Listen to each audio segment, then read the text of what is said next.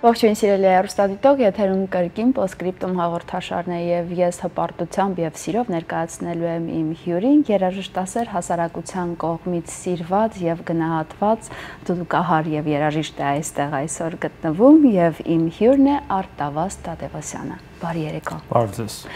Անչափ ուրախ եմ ձեզ հյուրընկալելու իմ տաղավարում։ Հաճախ չի, երբ հանդիպում ենք երիտասարդների, ովքեր արդեն ձեր տարիքում նվաճած են լինում լավագույն բեմերը եւ լավագույն հարթակներում հանդես եկած են լինում երաժշտական աշխարհում լավագույն մեծանուն մասնագետների հետ։ Շատ ուրախ եմ, որ դուք մեր ազգի ներկայացուցիչն եք եւ շատ ուրախ եմ, որ դուք այսօր այստեղ եք եւ մենք կարող ենք ձեզ մի փոքր ել ավելի բացահայտել եւ ներկայացնել մեր հանդիսատեսին։ Սիրով շնորհակալ եմ, որ այստեղ եմ եւ ճակատագրին շատ շնորհակալ եմ, որ իմ ազգի հպարծի մորներից մեկն եմ ես։ Եթե կարելի է մի փոքր ներկայացնենք ընդհանուր առմամբ ձեզ, ես վստահ եմ, որ մեծ մասը ձեզ ճանաչում է, բայց կլինեն նաև մարդիկ, ովքեր ձեզ այսօր նաև այս հաղորդման շնորհիվ կբացահայտեն։ Մի փոքր խոսենք ձեր արմատներից։ Ես միշտ այսպես ուրախությամբ, մեծ ուրախությամբ եմ նշում, որ ես ծնվել եւ մեծացել եմ Բյուրականում։ Այնուհետ ընդունվել եմ Երևանի Կոմիտասի անվան պետական կոնսերվատորիան գերազանցի հիմունքներով ինչպես ասում են անվճար հիմունքներով սովորել եմ 5 տարի, հետո գերազանցությամբ ավարտել եմ կարմիր դիպլոմով, այնուհետ ընդունվել եմ ասպիրանտուրա գերազանցությամբ եւ 3 ամսում ավարտել եմ ասպիրանտուրան։ Այստեղ գալուց հետո ինձ համար այսպես նոր աշխարհ էր, ես փորձում եի այստեղ եւս հաստատուն քայլեր անել եւ ցանկությունը շատ մեծ էր, ուսում եի այստեղ շարունակելու եւ պատիվ ունեի սովորելու տարիներ հետո գիտեք լեզվի խնդիրներ եւ այլ եւ այլ հաղթարելուց հետո ես ընդունեցի աշխարհի լավագույն կոնսերվատորիան, New England կոնսերվատորիան եւ Harvard-ի համալսարան։ Պատիվ ունեի դասեր վերցնելու երկու աշխարհահռչակ համալսարաններում։ Դարձա տարվա տարվա լավագույն դիմորդը եւ ընդունվեցի գերազանցությամբ, ավարտեցի նույնպես գերազանցությամբ բազմիցս մասնակցել եք տարբեր փառատոնների, մրցույթների, եղել եք դափնեկիր, այն մրցույթները, որտեղ ես մասնակցել եմ, բացառապես ունեցել եմ առաջին մրցանակներ, եթե Grand Prix մրցանակը չի եղել, այսպես չի խաղարկվել, բացառապես եղել է առաջին մրցանակ, եթե եղել է Grand Prix, այսպես մրցանակը խաղարկության մեջ, արժանացել եմ Grand Prix Grand Prix մրցանակի։ Մասնակցել եմ բազմաթիվ մրցույթների, կառանձնացնեմ դուդուկահարների հանրապետական մրցույթը, որտեղ ես առաջին մրցանակի արժանացա, դեռևս կոնսերվատորիայում սովորելու տարիներին, այնուհետ մասնակցեցի համաշխարհային մրցույթի 1800 եւ ավելի մասնակիցների մեջ, դարձա 3 ոսկի մեդալակիր եւ ինձ հանձնվեց Champion of the World title-ը եւ Իսպանիայում եմ մասնակցել միջազգային մրցույթի, որտեղ ունեցել եմ Grand Prix եւ այլն, այսպես։ Դուք ներկայացրեցիք համառոտ ձեր կենսագրությունը, արեցիք այն գործը, որը ես պետք է անեի մեր ամբողջ հաղորդման ընթացքում։ Ամեն դեպքում շատ հաճելի էր այսպես համառոտ արագընթաց անցնել այն ճանապարհը, որով դուք տարիներ շարունակ անցել եք, ասելով արմատներ ես նկատի ունեմ ձեր ընտանիքը որտեղից է սերուն ձեր ընտանիքը, որտեղից է եկել այս տաղանդավոր պատանին, որը ծնվել է բյուրականում, նրա ծնողները որտեղից են։ Ծնողներս եւս բյուրականից են, ծնվել եւ մեծացել են այնտեղ։ Ես պատիվ ունեմ այսպես մեծ պատվով եմ ներկայացնում իրենց, որովհետև ծնվել եւ մեծացել եմ մաթեմատիկների գիտության ընտանիքում։ Հայրս մաթեմատիկ, մայրս մաթեմատիկ, հայրս իրենք իրենց գործունեությունը ծավալել են իրենց մասնագիտական ուղղվածության մեջ եւ հրաշալի ծնողներ են ես իրեն միշտ ասում եմ որ այսպես իրենց զավակը պետքա լիներ այնպես ինչպես պետքա լիներ Ինչպես եղավ, որ այն ընտանիքում, որտեղ տիրում էր գիտությունը, զավակը ընտրեց արվեստի բնագավառը, ինչպես ընկալեցին ձեր ծնողները դա եւ ինչպես ընդունեցին նրանք ձեր ընտրությունը։ Պետք է ասեմ, որ միանշանակ չէր ինքը ընկալումը, որովհետեւ միշտ այսպես գիտություն գիտության ոլորտի մարդիկ այնքան էլ երաշտական այսպես խոր անցուդարձին ծանոթ չեն լինում եւ երաշտությունը այսպես յուրաքանչյուր վաստակ ունեցող ընտանիքի համար մասնագիտությունա, որը շատ հարգելի է, իրենց երեխաներին միշտ ուղղորդում են երաժշտության մեջ, բայց գիտեք, դա այսպես որպես երկրորդ մասնագիտության կամ մի մասնագիտություն, որը հոգեուզական մասը տվյալ երիտասարդի կամ երեխայի կամ պատանի կզարգացնի, հետեւաբար ես եւս այն անձանցից է, այն երեխաներից է, որոնք ուղղորդվեցին այսպես այդ ուղության մեջ, չիմանալով եւ անգամ չկանխատեսելով, որ դա կլինի կյանքում ուղեկցող մասնագիտություն, հետեւաբար դա եղավ այն ժամանակ, երբ որ իմ վարպետը Գեորգի Մինասովը իմ ծնողներին ասաց, որ ես երևի ունեմ լավ պոտենցիալ կամ լավ ապագա երաժշտության մեջ եւ չվարանեցին իրենք եւ մինչ օրս հայրս իմ ծնողները գլխավորությամբ հորս կամ մորս միշտ այսպես հետամուտ են եւ իրենց աջակցությամբ վարկյան անգամ չեմ վարանում ինձ տեսնելու ինչ որ ավելի առաջընթացի մեջ եւ այլ եւ այլ եւ այլ իրենց օգնությունը անբեկանելի է ինչպես եղավ գործիքի ընտրությունը? Շատ պատահական գիտեք ես դեռ փոքր էի երբ որ մայրս մասնակցում էր մայրս եղել է յուրականի միջնակարգ դպրոցի փոխտնօրենը նա հravirված էր մի միջոցառման որտեղ երկու պատանի նվագում էին դուդուկի վրա այդ ժամանակ ես անգամ ծանոթ չէի այսպես դուդուկ նվագարանին մայրս այստեղ ունեցավ մի ցանկություն որ հենց այդտեղ ինձ ասաց ես շատ փոքր էի իրեն գոքին նստած ասաց դու դու ինքդ կուզես նվագես, ասացի հա, չգիտակցելով, որ դա ճակատագրական ցանկություն կամ ճակատագրական, այսպես ան հասկանալի ճակատագրական պորտկում կարար լիներ։ Բայց եղավ, կարծում եմ, երևի պետքա լիներ այդպես։ Կարծում եմ, միգուցե կար ինչ որ մի նախախնամություն կամ լինելու բաներ պետքա լիներ, լինելու բաներ ես պետքա հայտնվեի այդտեղ մայրիկիս գոքին նստած կամ նա պետքա հravirված լիներ։ Հետևաբար եղավ այդտեղ պատասխանը ու այդտեղից բխեց իմ երաշտական այսպես փոքր քայլեր, բայց հաստատուն։ Այնուհետ ես ուսանեցի Խաչիկ Խաչատյանի մոտ, որը իմ կոնսերվատորիայի ուսուցիչ Գևորգ Դաբաղյանի վարպետն է եղել, պատիվ ունեի այսպես հաստատուն քայլերը սկսել իրեն մոտ, որը եղել է Արամ Մերանգուլյանի անվան վաստակավոր կոլեկտիվի առաջատար դուդուկարներից մեկը։ Այնուհետ վարպետի բաժամ էսպես հեռանալուց հետո ես իմ մասնագիտական հմտությունները փորձեցի այսպես ունենալ վարպետ Ջիվան Գասպարյանի մոտ։ Այնուհետ ես սովորեցի իմ վարպետիս մոտ Գեորգի Մինասովի մոտ, որին այսպես չկա խոսք, որ ասեմ ինչքան եմ շնորհակալ իրեն, որովհետև նա կարծում եմ ունեցավ այն ճակատագրական ունեցավ այն ներդրումը, որը կարող եմ համարել ճակատագրական, նա ինձ կրթեց, դաստիարակեց որպես դուդուկահար, այնուհետ ես ընդունվեցի կոնսերվատորիա։ Կոնսերվատորիայում սովորեցի իմ ուսուցիչ ուսուցիչ Գևորգ Դաբաղյանի մոտ, դուդուկի լավագույն վարպետներից մեկի մոտ։ Եվ գիտեք, ոչ միայն իրենք փորձեցին զարգացնել իմ մոտ դուդուկին այսպես մոտենալու տեխնիկական հմտությունները, այլ նաև իրենք ինձ տվեցին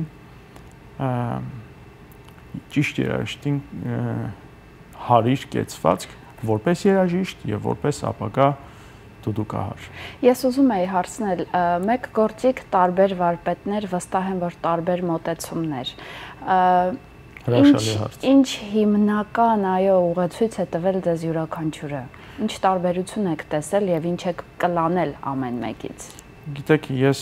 իմ երաշտական ուղու մեջ պետք է առանձնացնեմ, թեպետ ես շատ շնորհակալ եմ բոլոր այն անցած այն մեծ մասնագետներին, որոնց ձեռքի տակով եմ անցել մասնագիտական առումով, բայց ես պետք է առանձնացնեմ իմ վարպետին Գեորգի Մինասովին եւ Գևորգ Տաբաղյանին։ Ինչի, որովհետեւ ես իմ վարպետի Գեորգի Մինասովի դպրոցի շարունակողն եմ, ես իրեն ոչի շարունակողն եմ եւ ընկեր Դաբաղյանի հրաշալի մասնագիտական այսպես ձեռագրի կրթությունը երբեք չեմ մոռանա։ Նա ունի ուրույն հետք այդ դպրոցը, այդ հրաշալի դպրոցը ունի ուրույն հետ, բայց ես որպես դուդուկար հարում եմ Գյորգի Մինասովական դպրոցի շարունակողը, որովհետև իրեն մոտեցումը ինձ ես ավելի դասական երաժշտություն եմ նվագում եւ այլ եւ այլ իրեն մոտեցումը վերեց նրան որ ես ընտրեցի դասական երաժշտության այսպես ուղին իրենք միայն ոճային տարբերակ տարբերություններով էին այդ հարցին մոտենում թե իրանք ունեին ինչ որ մտածողության կամ այլ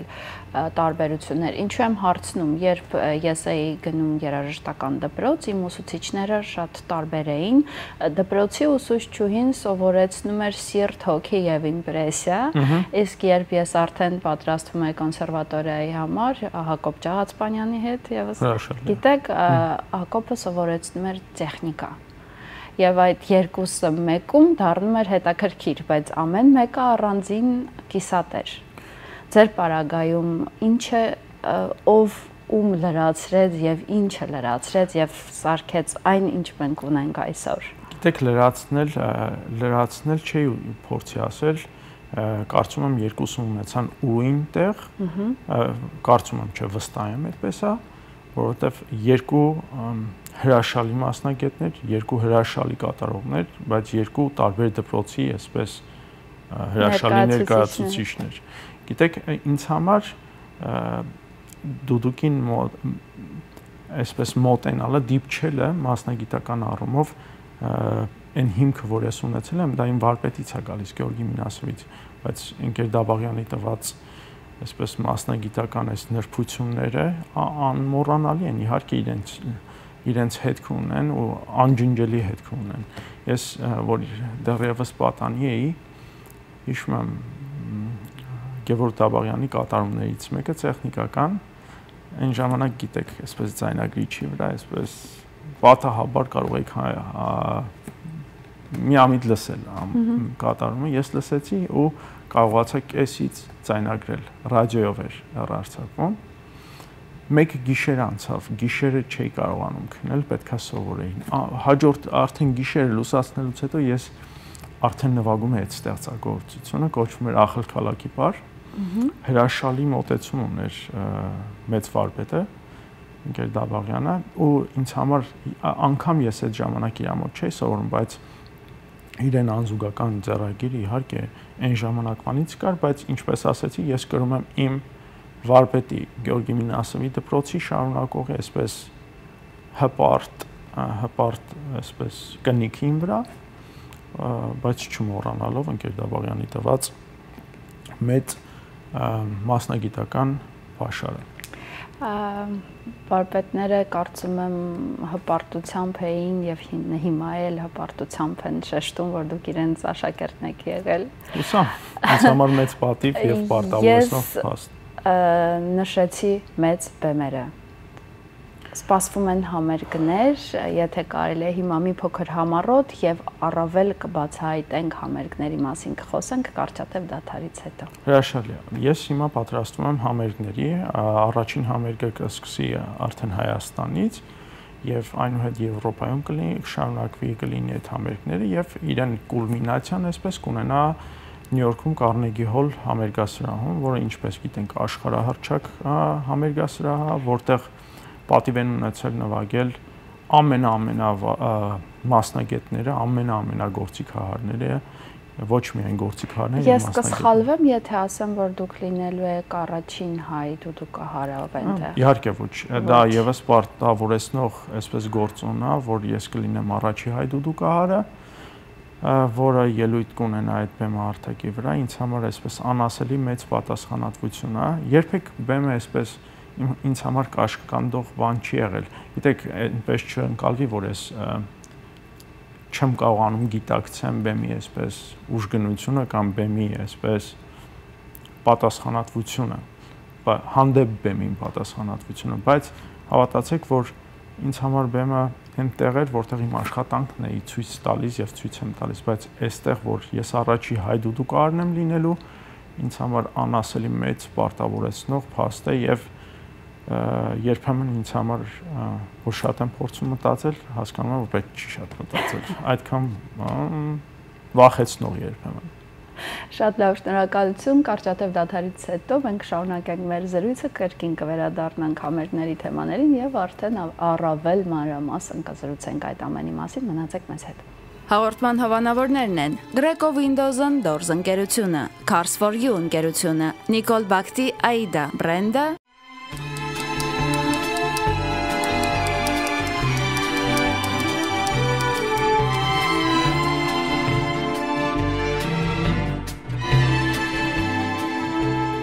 Կրկին բարի երեկո, մենք շարունակում ենք մեր զրույցը, հիշեցնեմ, որ իմ հյուրն է երաժիշտ դուդուկար Արտավաս Տաթևոսյանը։ Խոսում ենք Խոսում ենք համերգների մասին, հիմա ես կուզեի, որպեսզի մենք ավելի մանրամասն ներկայացնեինք հանդիսատեսին, թե ինչ է սպասվում։ Սկսեցինք Հայաստանից։ Հայաստանից։ Ինչով է տարբերվում Հայաստանի համերգը։ Նախ առաջինը պետքա լինի երկու բաժին, այդտեղ առաջի բաժնում պետքա ես փորձեմ ներկայացնել դուդուկի կուլմինացիոն կատարումները, ինչ եմ նախընտրում կուլմինացիոն կատարումները ներկայացնել, որովհետև ինձ համար այսպես քննության պես բան, ինքը բառը բառը այսպես հիմնական իմաստով պետք չի ընկալել, որովհետև մենք գիտենք հայաստանյան ունկնդիրները առանձնանում են իրենց մասնագիտական խիստ քննադատական ձևաչափով, ինչը շատ կարևոր է յուրաքանչյուր կատարողի համար կլինի երկու բաժնից։ Առաջի բաժնում կներկայացնեմ, ինչպես ասացի, դուդուկի կոլմինացիոն կատարումները, այս իրենց մեջ իր մեջ կներառի հովերն ընկան, մաճկալես, դունեն գլխեն, տեխնիկական բարային ստեղծագործություններ, որոնք չեն հնչի դուդուկի այսպես ավանդական կարգով կլինեն դաշնամուրի նվագակցությամբ, որոնց մեծամասնությունը ես եմ փոխադրել։ Այնտեղ կլինի մի ստեղծագործություն, որը ես եմ գրել, իսկ համերգը կբացվի հոգևոր ստեղծագործությամբ։ Իսկ երկրորդ բաժնում կլինի այն ստեղծագործությունը, որը կշրջագայի այս դեպքում ամբողջ աշխարհով մեկ Պագանինի ջութակի կոնցերտը դուդուկով երբևէ չի կատարվել այդ ստեղծագործությունը։ Ես ուզում եի ասել, երբևէ չեմ լսել նման բան ինձ համար գիտեք ինքը պատմություն ունի, փորձեմ ձեզ ներկայացնել, ուրեմն դուդուկի վրա երբեք չի նվագվել այդ ստեղծագործությունը, ոչ մի ջութակի կոնցերտ, նամանավանդ այն ջութակի կոնցերտը, որը համարվում է հենց ջութակի համար վարդագույն ստեղծագործություններից մեկը, Պագանինի կոնցերտներից է եւ երամաս կարգով ինքը հնչելու է չի փոփոխվելու, այսինքն չի չեմ ներկայացնելու առաջին մասը կամ երկրորդ մասը, ամբողջը հնչելու է, իսկ հայաստանյան համերգի երկրորդ մասում արդեն կհնչի այս կոնցերտը եւ նրանից հետո եվրոպական համերգների ընթացքում ինքը համերգները կլինեն բացառապես այդ կոնցերտի կարգով իսկ Կարնեգի հոլում Նյու Յորքում կլինի միայն այդ ստեղծագործությունը ինձ հետ կնվագի աշխարհահռչակ երաժիշտ դաշնակար, որի անունը այս բային չեմ տա, աշխարհահռչակ դաշնակարա նվագելու ինձ ինձ հետ եւ մեծ պատիվ ինձ համար եւ մեծ պատասխանատվություն, որ ինձ հետ բեմը կկիսի ինձ կնվագակցի նման նման երաշտական աշճան ունեցող եւ վաստակ ունեցող կատարող այդտեղի գիտեք այս պահին ինձ ինձ համար մեծ պատասխանատվություն է քիչ առաջ ասեցի առաջի բաժնում որ ոչ միայն տվյալ ստեղծագոր տվյալ գործիքը ներկայացնել, ոչ միայն կներեք թե ինքը համեստ հնչի հայազգին ներկայացնել նման մեծ բեմահարթակից, որը անչափ մեծ պատասխանատվություն է։ Գիտեք, երբեմն այսպես պատասխանատվության չափը գիտակցելիս անգամ չեք պատկերացնի ինչքան հուզումնալից բայր առաջանում ինձ մոտ, որովհետև ներկայացնել մի ժողովրդի, որ ունի հարուստ մշակութային վաստակ, դա պետք է գիտակցել եւ պետք է հավուր պատշաճի անել։ Բացի այդ, գործիքի տեխնիկական հնարավորությունները ու տվյալ գործի տեխնիկական, այսպես ակնկալիքները տարբեր են։ Հետևաբար այս համերգների ընթացքում առավել եւս Կարնեգի հոլում կայանալիք համերգի ընթացքում դուդուկի համար եւ ինձ համար դա մեծ կներեք ինքը կարող է համեստ չի հնչում շատ ներողություն բայց տեղին է ինձ համար ավել ինձ համար դուդուկի համար չէ բայց ինձ համար դա կլինի մի նոր երաշտական արահետի բացման որը ավելի շատ կտանի դեպի սիմֆոնիկ օրկեստրների հետ համաշխարհային լավագույն սիմֆոնիկ օրկեստրների հետ ելույթ ունենալու եւ նմանատիպ արդեն համաշխարհային մեծ համբավ ունեցող հարթակներում եւս հանդես գալու ինչ որ մի Աստված առաջ մենք վստահ եմ որ առիթ կունենանք հպարտանալու եւ այդ ամենը իրականություն կլինի։ Շնորհակալ եմ ես։ Խոսում ենք նաև համագործակցության մասին աշխարհահռչակ երաժիշտների հետ։ Բազմիցս համագործակցել եք։ Ով էր ամենատպավորիչը ձեզ համար համագործակցության մեջ եւ իբրև մարդ։ Ես գիտեմ, որ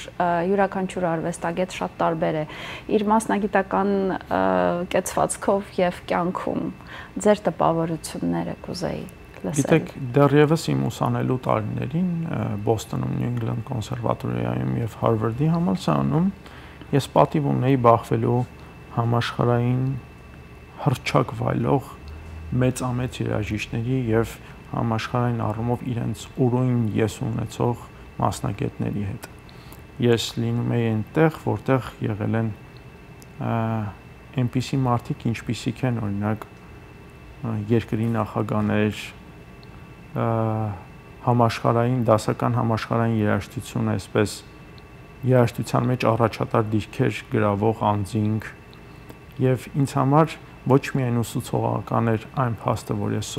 իրենցից վերցնում եի երաժշտական մեծ pašար, այլ այն հիմքը, որ ես ունեի շփվելուց հետո իրենց հետ ինչքան այսպես համեստ, ինչքան այսպես խոնար մարդկանց հետ եմ շփվում, ինձ համար դրանք էլ են ուսուցողական։ Ես միշտ ասում եմ, որ ես չեմ կրթվել որպես երաշտի այնտեղ եւ կրթվել եմ որպես մարդու կեցվածքի առումով ճիշտ փոփոխություններ անելու ինչի է, ինչի ոչ ճիշտ փոփոխություններ անելու առումով եւ աշխարհին, այսպես աշխարհընկալման մեջ յուրովի ընկալման կետեր հայտնաբերելով ես պատիվ ունեի ուսանելու մի մարդու մոտ, որը աշխարհի ամենախելացիներից մեկն է,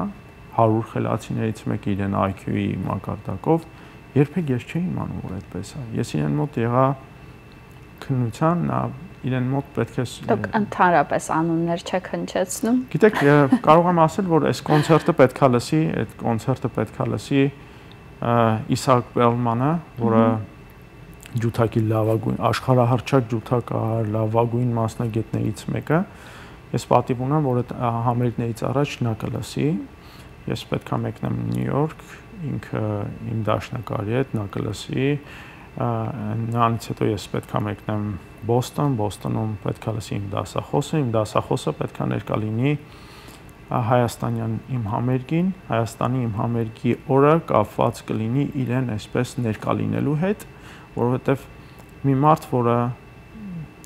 բացառիկ երաժիշտ է եւ այսպես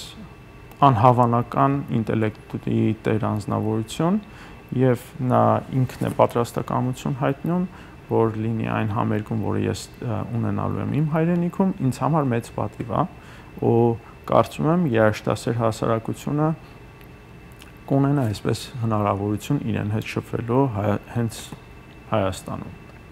Իսկ նրանք, ովքեր հնարավորություն չեն ունենա Հայաստանում եւ այլ վայրերում ներկա գտնվելու այդ համերգին, հնարավորություն ունեն այլ ձևաչափով ընկնդրելու այդ համերգը։ Ես չեմ տիրապետելու ոչ մի ինֆորմացիայի, համերգները այդ կատարման արտոնագիրը ձայնագրված չեն, չկան։ Գիտեք ոնց է լինելու, համերգի արտոնագիրը ինձ չի պատկանելու։ այս պահին դժվարանում եմ ինչ որ բան ասել, բայց կարծում եմ այսպես փոքր-փոքր մասերով որ լինենք Հայաստանում, այսպես լինենք եթերներում, ես հաստատ կունենամ իմ գործիքի ինձ հետ, իմ դասախոսի հետ միասին մենք կլինենք եթերներում, իհարկե որոշակի այսպես Այսինքն մենք այսօր բաց ենք թողել այդ հնարավորությունը մի փոքր հատված լսել։ Իհարկե, սիրով, այստեղ շատ լավ ակուստիկա է, քիչ առաջ ձեզ ասում էի, հրաշալի կլիներ ինչ որ։ Ինչ ափսոս, որ մենք այս հրաշալի հնարավորությունը բաց ենք թողել, այո, բայց լավ առիթ է կրկին հանդիպելու։ Մեծ սիրով։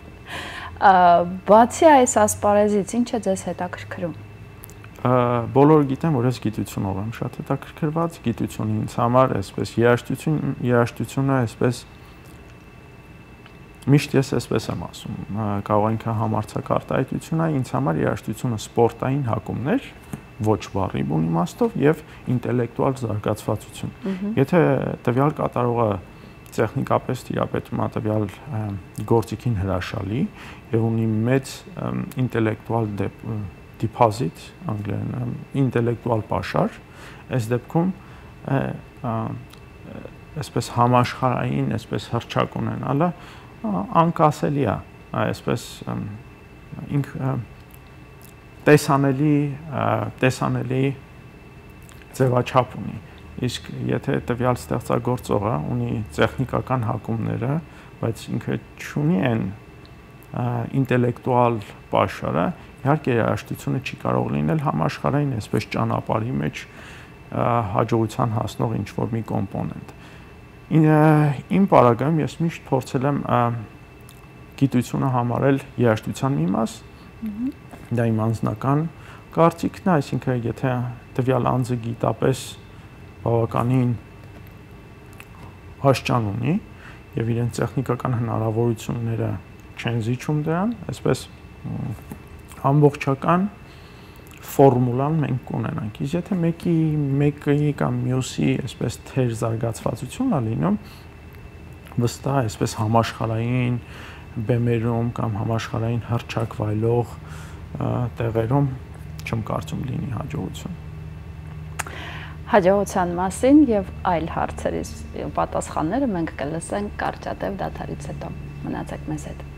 Հաղորդման հովանավորներն են. Greco Windows-ն Doors ընկերությունը, Cars for You ընկերությունը, Nicole Bakti Aida բրենդը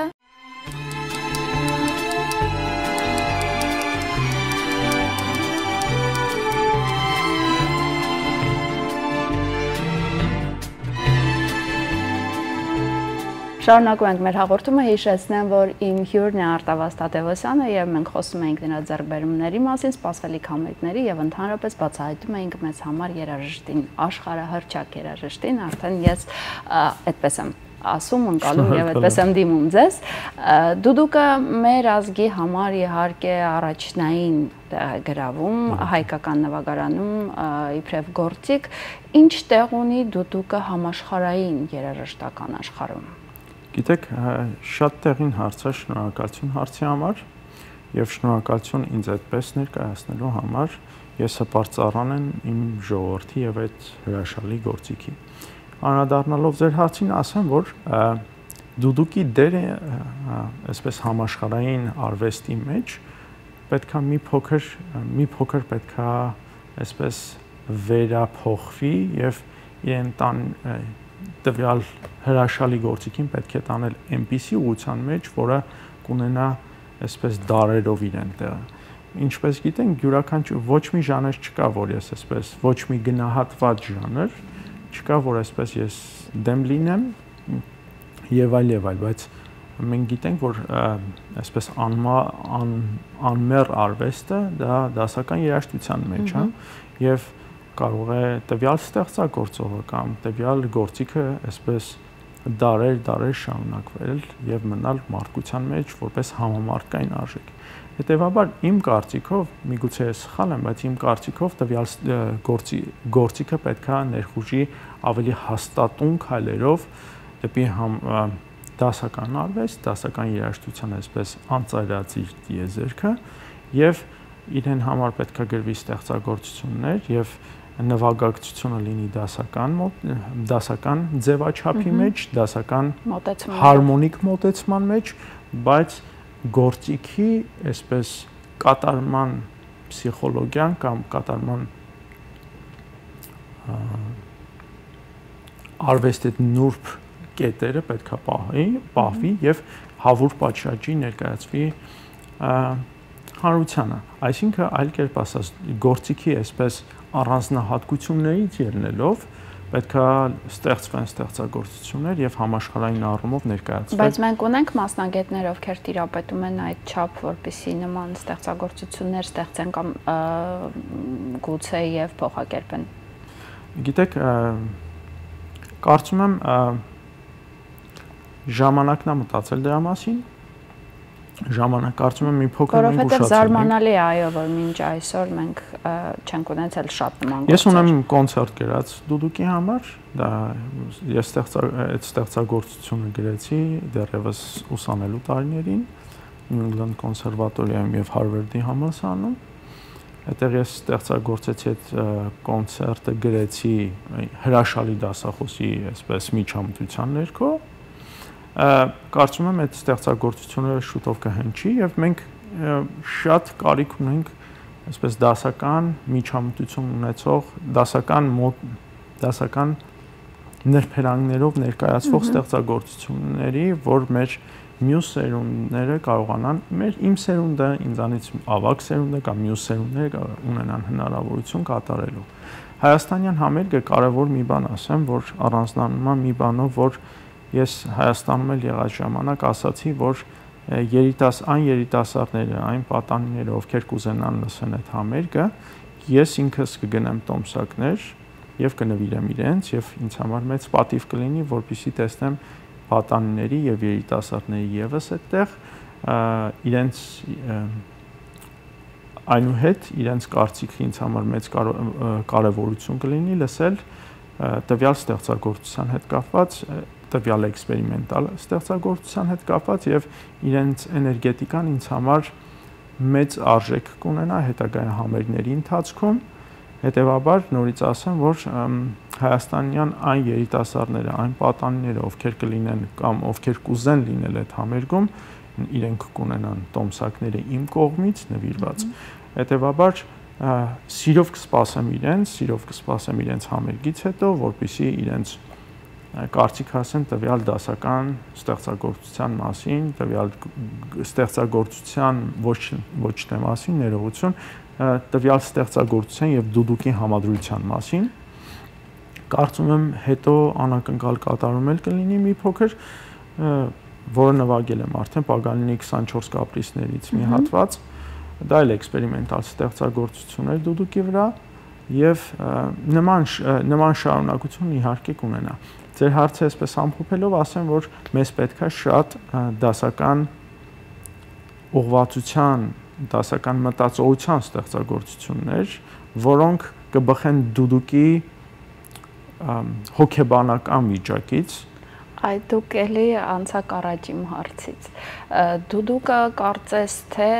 մեզ մոտ ընկալվում է կամ ներկայացվում է, չգիտեմ, կարծես իր մեջ պարունակի հայազգի DNT-ի այդ տխրությունը, այդ ելևեջները, ձայները, միշտ ինչ որ sense ինչ որ տխուր բան է հետը բերում դուդուկը։ Դասական մոտեցմամ դասական երաժշտության մեջ ներկայացնելիս ինչպես է այն հնչում? Գիտեք դուդուկ ինքի իրենով փիլիսոփայություն է դուդուկ ինքի իրենով այսպես հոգին ալեկոծող եւ մարդկանց ստապեցնող գործիք է ես թույլ տվեք ուրիշ կերպ ներկայացնեմ դուդուկին դուդուկը այսպես կատարողը եւ գործիքը տարբեր բաներ են հիմա գիտեք մարդիկ կարող են վերցնել մի բան, որը արժեքավոր է, բայց ներկայացնեմ ոչ արժեքավոր։ Դա տվյալ կոմպոնենտի խնդիրը չէ։ Տվյալ անձը, ով օգտագործում է տվյալ կոմպոնենտը, ինքը վերացական է հնչում, բայց կարծում եմ հասկանալի եմ ասում, գործիքին գործիք դարձնողը ինքը գործիքահարն է։ Երբեք պետք չի շփոթել հենց գործիքահարին գործիքի հետ օրինակ մեր մեծ իրական մեծ վարպետների որ մեկի նվագիցա նման այսպես ես համաձայն եմ ձեր հետ ԴՆԹ-ն ներկայացնում, հայի ԴՆԹ-ն ներկայացնում, բայց թույլ տվեք ներողություն խնդրելով ձեզ ասեմ, ես համաձայն չեմ իր այսպես տխուր մռայլ ձևաչափին, ոչ չկան դասական գործիքներ, որոնց այսպես տեմբրալ առանձնահատկությունը այսպես հոգևոր մեծ ալեկոծություն են առաջացնում։ Եկեք վերցնենք թավ ջութակը թավջութակի ռեգիստրային պատկանելությունը եւ դուդուկի ռեգիստրային պատկանելությունը շատ են տարբեր։ Իհարկե ոչ։ Տարբերությունը դուդուկա գործիքը ներկայացնողի եւ գործիքը ներկայացնողի։ Այսինքն այդքան գործիքը չէ, որքան ներկայացնողն է այդպես մատուցում։ Ես կասեի ընդհանրապես գործիքը չի։ Ընդհանրապես, գիտեք, կարելի է վերցնել մի օրինակ կարելի է վերցնել աշխարհահռչակ կտավ եւ ախտոտել այն կարելի է վերցնել աշխարհահռչակ, կտավ եւ իրեն ներկայացնել հավուր պատշաճի։ Ես այսպես շատ մակեր արդիական բան ասացի, որը չի ուզի այսպես ասել, բայց ավելի ընկալելի լինի տարբեր հարթակներին մեր ունկնդիրների առումով ես կարծում եմ որոշակի կարևոր համեմատություն արեցի դուդուկը համամարտկային արժեք է դուդուկը հային ներկա հային հավուր պատշաճի ներկայացնող գործոն կարելի է համարել ներողություն գործոն բառի համար դուդուկի մեջ կա այն փիլիսոփայությունը որը որը կարելի է ման գալ եւ չգտնել մի քանի օկտավաներ ունեցող գործիքների մեջ։ Դուդուկը այն գործիքն է, որ կարող է իրեն 1 օկտավայի մեջ այն էսթետիկան ներկայացնի, որը 5-6000 հոգի այսպես ակնապիշ ձևով փորձեն լսել տվյալ գործիքը։ Դա գալիս է դուդուկի առանձնահատկությունից, դուդուկի տեմբրալ առանձնահատկությունից, դուդուկի այսպես դուդուկի այսպես չգրված եւ անտեսանելի հոգեվոր աշխարից Իհարկե դուդուկին տարբեր ձևով անկալվում տվյալ գործիքը, բայց հավատացեք, որ տվյալ գործիքի մեջ կա այն փիլիսոփայությունը, այն փիլիսոփայական միջամտությունը, ոնց կարելի է լսել Վաչով Սեփյանի կատարումները եւ նման բան, այսպես նման կենցաղավարով բաներ տեսնել։ Ոնց կարելի է լսել Գյորգի Մինասովի կատարումները նման բան տեսնել։ Ոնց կարելի է լսել Գևոր Դաբաղյանի կատարումները նման բան տեսնել։ Թողներ են մեր մյուս մեծ վարպետները, բայց այսպես կան իսկապես մեծ վարպետներ, բացի այն հրաշալի վարպետներին, որոնց ես թվեցի, որ դուդուկի այսպես ճիշտ գունային գաման իրեն ճիշտ փիլիսոփայության մեջ են հрамցնում ժողովրդին։ Իսկ ո՞րն է ըստ ձեզ հիմնական փիլիսոփայությունը դուք։ Կրթված կատարող։ Կրթված կատարող։ Կրթությունը վերում է գործիքին վերարժևորելու։ Կրթությունը, գիտեք, երաշտից տեխնիկապես դիրապետելը գործիքին հրաշալի է, գիտեք, այսպես 6-8 ժամ փակվում ենք սենյակում, պարապում ենք, իհարկե դա բերում է տեխնիկական հմտությունների, բայց տեխնիկական հմտություններից բացի կա հոգևոր գունային գամա։ Դա կարելի է ստանալ այն դեպքում, որ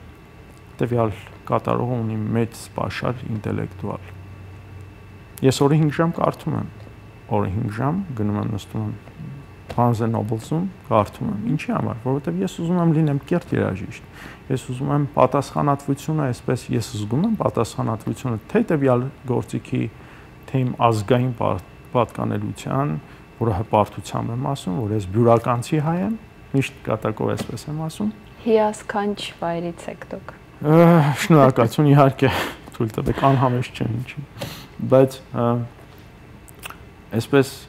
գունային գաման ճիշտ ներկայացնելու համար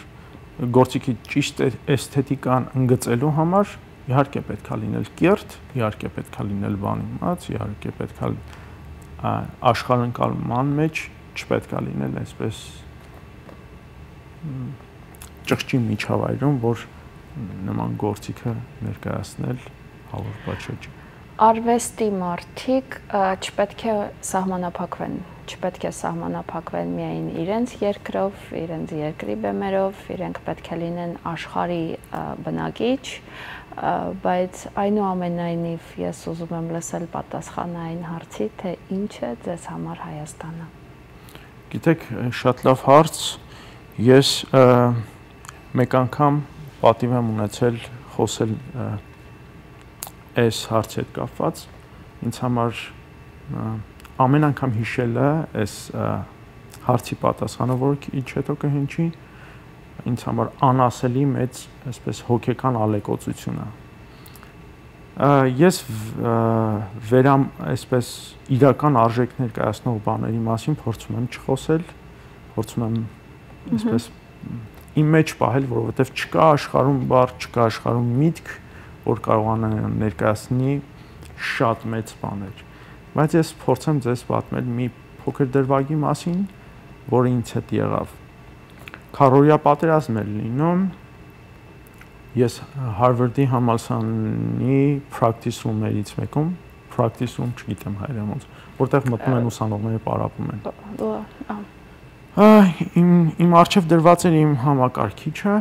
որտեղ այսպես աչքի փոչով հետևում էի անցուդարձին ունեմ այսպես իմ յուրովի պարապմունքի ձևը հակվում եմ այդ practice room-երում կամ իմ պարապմունքի տեղերում եւ փորձում եմ համակարգչով այսպես շատ ցածր ձայնով լսել ինչա կատարվում եւ պարապել։ Ես լսեցի այն ցավալի նորությունը, ինչ էր կատարվում Հայաստանում։ Ես այդ ժամանակ նորից ասեմ գտնվում էի Harvard-ի համալսարանի practice room-երից մեկում։ Ինձ համար անասելի ան չեմ կարող բացատրել ինչ եղավ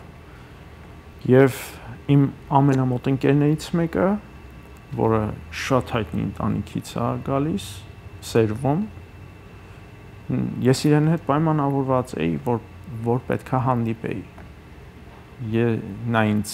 զանգահարեց նա ինձ գրեց կարծեմ թե զանգահարեց ես չէի չէի գտնում իմ տեղը ինձ համար անասելի մի դաժան երևի ամենավատ process-ներից մեկը, որ ես կյանքում անցել եմ։ Հայրենիքը հայրենիքը ինձ համար գիտեք, այսպես մեծ պատասխանատվությամբ ներկայացնելու մեծ պատասխանատվությամբ այսպես եւ մեծ պատվով ներկայացնելու իրեն ծառայելու, իրեն այսպես փառահեղ պատմության մեջ, անկոտրում փառահեղ պատմության մեջ փորձել ինչ որ մի նշույլ լավ բան անել։ Ու ես որտեղ լինեմ, ես աշխարի որ կետում լինեմ, ես հայ եմ, ես բյուրականցի հայ եմ եւ ես միշտ մնալու եմ իմ հետագա սերունդները եւս միշտ մնալու են հայ։ Կներեք երկար խոսեցի։ Երկար, տեղին եւ հաճելի։ Շնորհակալ։ Շնորհակալություն այս զրույցի համար, շնորհակալություն, որ բաց եք մեզ համար, շնորհակալություն, որ կաք ստեղծագործում եք եւ այդ պատասխանատվությունը, որի մասին դուք անընդհատ խոսում եք եւ շեշտում եք, իսկապես ձեր մեջ կրում եք։ Հաջողություն եմ մաղթում ձեզ։ Թույլ տվեք իմ շնորհակալությունը հայտնել ձեզ այստեղ ներկա լինելու համար։ Ինձ համար մեծ պատիվ էր այստեղ լինելը եւ այսպես շատ անկեղծ զրույց, որը շատ քիչ է լինում։ Շնորհակալ եմ այս ամեն ինչի համար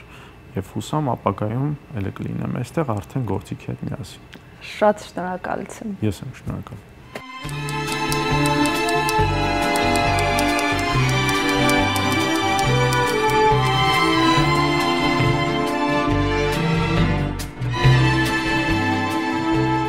ես հպարտ եմ իմ ճյուղերով ու սաղարթով, բայց առավել իմ արմատով եւ իմ բնի վաղեմությամբ, ժողովրդից ծերունական խիստ բնական խոհեմությամբ, բայց ավելին նոր շիվերի դալարությամբ նրա ջահել ворթիներից հենց լավերի խելառությամբ։ Պարույս Սևակի այս տողերով էլ ուզում եմ ավարտել այսօրվա մեր հաղորդումը։ Ամենալավն ու բարինն ձեզ։ Ցտեսություն։